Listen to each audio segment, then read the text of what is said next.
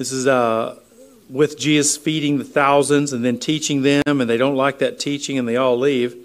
Whoever feeds on my flesh and drinks my blood has eternal life, and I will raise him up on the last day. So, this is important for us. Uh, life can be very deceiving. You can think that you're living and you're going to continue living forever. It can seem that way sometimes. It's very deceptive. But one sickness, one illness, and, and life is over. And sometimes as we get older, we see death more prominent around us and we realize this. But death, is, death can be deceiving. Uh, the Bible is clear, though, that there is going to be a last day, a final day, where there is no more life, uh, no more ongoing as things are going now, that there is going to be a final day. There is going to be ultimate judgment. And who is in charge of this last day and who is in charge of this judgment that is coming upon the world is Jesus Christ Himself. Now, the beauty is that you can know exactly what will happen to you on that last day. That you can know beyond the shadow of a doubt, as Jesus says, you will be raised up on the last day. Who will be raised up on the last day? All those who believe in Him because he is the he is the author of life. He is the one who gives eternal life. He is God the Son who came to live to die for the sins of all who believe in him. So we get to heaven not based on our own righteousness because we have none. Uh, we get to heaven based on his righteousness. So we have the guaranteed inheritance in heaven, guaranteed eternal life. So it's important as we go through this life, though, to acknowledge this. Jesus preached about the last day a lot. One of my uh, one of the pastors or preachers that, that we looked into as we are going through the church history a while back was Charles Spurgeon. Charles Spurgeon wrote more about death than any pastor. Every single sermon, he reminded the people, and he would say outright, clearly, and boldly, sometimes yelling, You are going to die. And it's like that, that, you don't think that'd be a way to grow a mega church, but it worked. it was the biggest church in the world. Uh, he would remind them steadily, constantly. Why? Because he wanted them to be rocked. He wanted them to stop this life for a moment, think about death, and think that everyone, I am going to die. We are all going. What does that matter in the end? You better know where you are going. And Jesus is the source of eternal life. There's going to be a last day for everyone.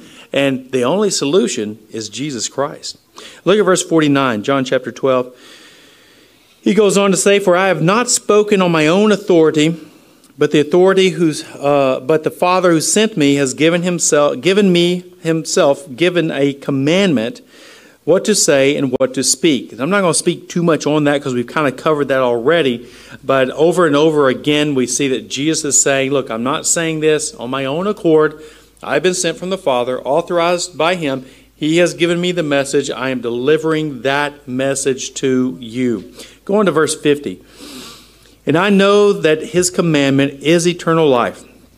What I say, therefore, I say as the Father has told me. Now, Jesus' command is to, be, God's command, the Father, is to believe in Christ for eternal life. And that belief equals eternal life. The promise of eternal life is common is another common theme of the book of John. Over and over we see eternal life, eternal life, eternal life. Eternal life is tied into the being of Jesus Christ. A couple of verses and we'll be done. Look at John 3. John 3 verse 34 through 36. We've read several already that have mentioned the eternal life aspect, how it's tied into Jesus, but just a couple of more. Verse 34 through 36 For he whom God has sent utters the words of God, for he gives the Spirit without measure. The Father loves the Son and has given all things into his hand. Whoever believes in the Son has eternal life. Whoever does not obey the Son shall not see life, but the wrath of God remains on him. Whew, powerful passage here. So we can know that we have eternal life. Look at the look at verse 36. He says, Whoever believes in the Son, it's not will have eternal life, but has eternal life. And this is a wonderful thing that we can know even while we're alive right now in this temporary body, this temporary life, that we have eternal life. That's why Paul could say things like, right, to be absent from the body as a believer is to be present with God.